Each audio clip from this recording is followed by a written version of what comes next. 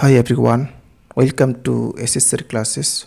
Today we have to find 7 rational number between 1 upon 3 and 1 upon 2. So in this video, have to find 7 rational number between 1 upon 3 and 1 upon 2. So let's start. First of all, write down here the uh, given rational number 1 upon 3 and 1 upon 2. Okay.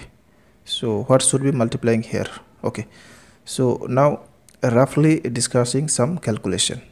Okay. So first we have to find out the LCM of 2 and 3 and the LCM of 2 and 3 equal to 6 so we have to make the denominator of both rational number to 6 so what should be multiplying here up and down? So if you multiplying by 2 and here by 3 so we got 2 by 6 and this is 3 upon 6 okay so the denominator are equal.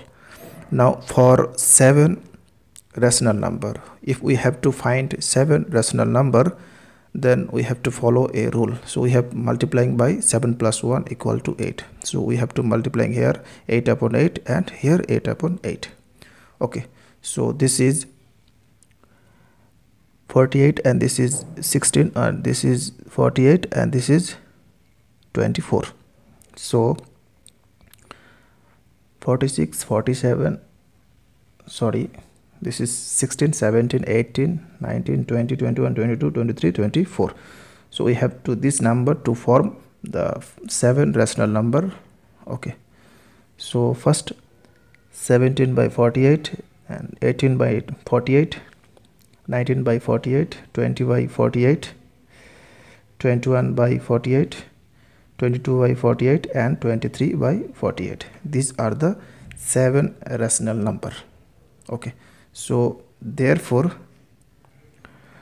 the seven rational number between 1 upon 3 and 1 upon 2 are uh, 17 by 48 18 by 48 19 by 48 20 by 48 21 by 48 22 by 48 and 23 by 48 okay.